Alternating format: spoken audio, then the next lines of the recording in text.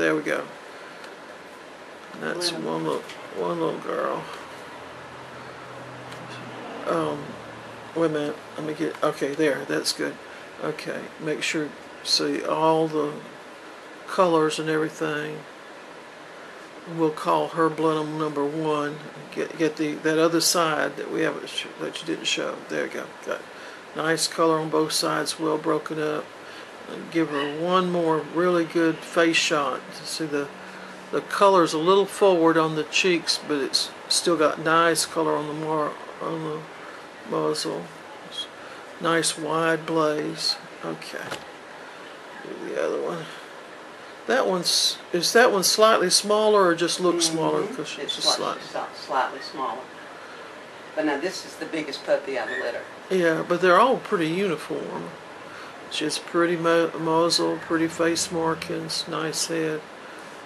I'm not sure. She probably was one that most looks most like Julianne, don't you think? Mm-hmm. Lots of red on her.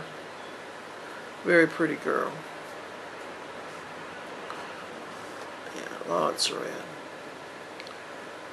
And then just put her back on the chair and let's see if they'll interact a little bit with some toys.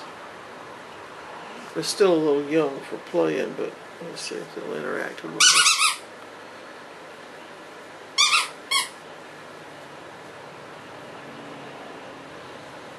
They're interested. Well, what is that?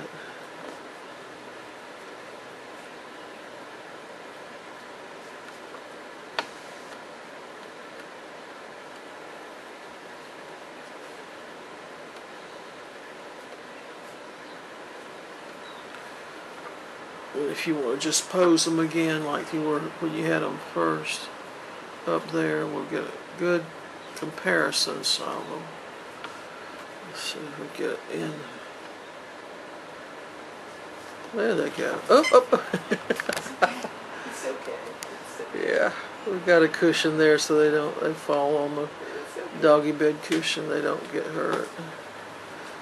In fact, sometimes they enjoy it so much they jump off because it's fun. That's my girl.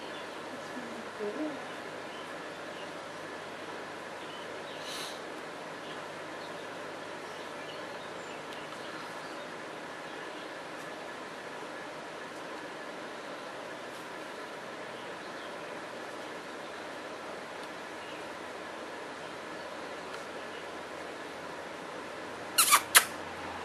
Hey girls, hey girls, hey girls, what you doing? What you doing? What you doing?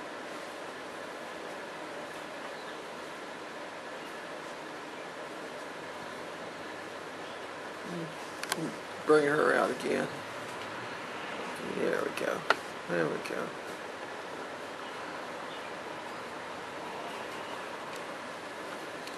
Come on, face this way.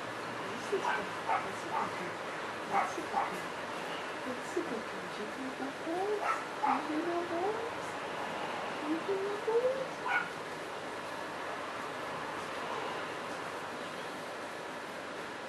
Hear my voice? Set the tail up. Oh, look at that tail. Oh, look at that tail. Come on, let me see pretty fast. Let me see pretty fast.